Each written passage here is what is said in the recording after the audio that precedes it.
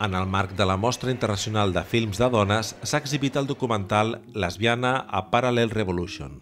La mostra ja celebra la seva 21a edició i segueix en la seva tasca de difusió del treball de dones cineastes. Enguany, el format de la mostra, després de 20 anys d'història, ha canviat fent una aposta per ampliar el temps i espais d'exhibició. Marta Selva, coordinadora de la mostra, ho explica a IDEM TV. El que hem decidit és eh, fer una,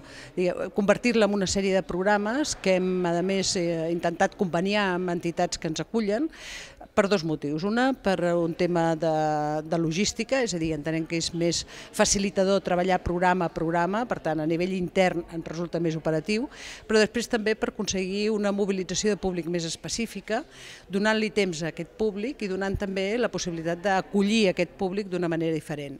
d'una manera més atenta, d'una manera més particularitzada i mimant, per tant, també més els actes. Entenem que la mostra reivindica el seu paper de mostra. La mostra no és un festival, mai hi ha hagut un concurs, sinó que hi ha hagut una voluntat de visibilitzar el que ha significat i significa l'aportació de les dones a la cultura audiovisual i més concretament a la cinematogràfica en tots els camps i temes que ens atenyen, que evidentment són tots. La mostra pretén mantenir viva la feina feta millorant l'estratègia d'exhibició. En el, aquest 21 aniversari,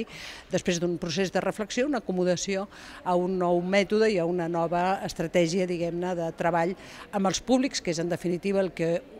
és objectiu de la mostra, és a dir, mostrar per visibilitzar, per donar a conèixer i per crear sensibilitats noves respecte a aquestes mirades diverses que les dones fan a través d'un llenguatge que havia estat molt, eh, diguem-ne, molt a prop de, de les dones als seus inicis i que en aquests moments està recuperant aquesta, aquesta proximitat. En el marc de la mostra sempre s'ha defensat un espai de visibilitat per a les lesbianes, amb films que recollissin, des de diferents gèneres, l'experiència i vivències de les dones lesbianes. La visibilitat eh, lesbiana és un dels elements, eh, juntament amb d'altres temes, que ha tingut una presència i una cura especial dins de la mostra per la invisibilitat a la que està sotmesa aquesta qüestió, però a més a més també pel fet de que acumula també molta informació respecte al que ha estat el conjunt de les lluites de les dones en, en funció, en relació a aquesta mm, possibilitat de donar a conèixer noves perspectives, no tan sols de la mirada sobre el món, sinó també de la pròpia experiència femenina, i en aquest sentit els apartats dedicats a la visibilitat lesbiana i a tot el que fa referència a les opcions sexuals ha sigut també un tema recurrent en la mostra que ha anat des de les primeres pel·lícules de les pioneres, des de eh, la mateixa Alice Guy, que ha pogut ser llegida, a més, per determinats estudis eh, de teoria crítica des d'una perspectiva de visibilitat precisament d'aquesta cultura lesbiana fins al que és actualment tot el que fa referència a les noves teories queer o a tot el, el nou posicionament dels subjectes en relació a la construcció social de la sexualitat. Lesbiana a Parallel Revolution és un film documental de Miriam Fugier, en el film es recullen experiències de projectes del lesbianisme separatista al Quebec i als Estats Units en els anys 80. És un document històric que mostra la lluita per la visibilitat i alhora la implicació de les lesbianes en d'altres moviments. És una pel·lícula que aparentment pot semblar molt similar a d'altres pel·lícules que han rescatat arxius cinematogràfics o arxius videogràfics dels diferents moments de la lluita eh, lesbiana,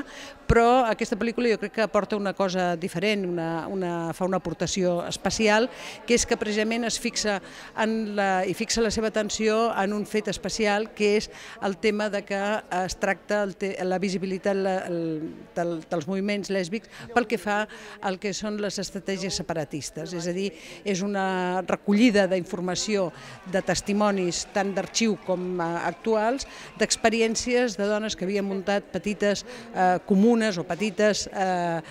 societats, d'alguna manera, exclusivament de dones. En aquest sentit, la pel·lícula és una revisió d'aquesta documentació històrica d'arxiu videogràfic i cinematogràfic, però a la vegada també és una relectura des del present de les conseqüències i de les experiències viscudes en relació a aquestes actuacions aspiracions o aquests eh, propòsits de crear societats separades. El film de Fuger recull testimonis de dones ja grans que repassen la seva experiència i moltes de les quals encara conformen petites comunitats en entorns diversos, en el camí de la directora per retrobar les que foren líders, membres i companyes de viatges comunitaris construïts per i per a dones.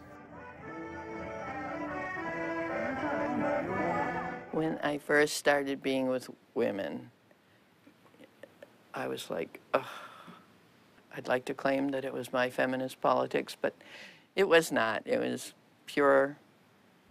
lust.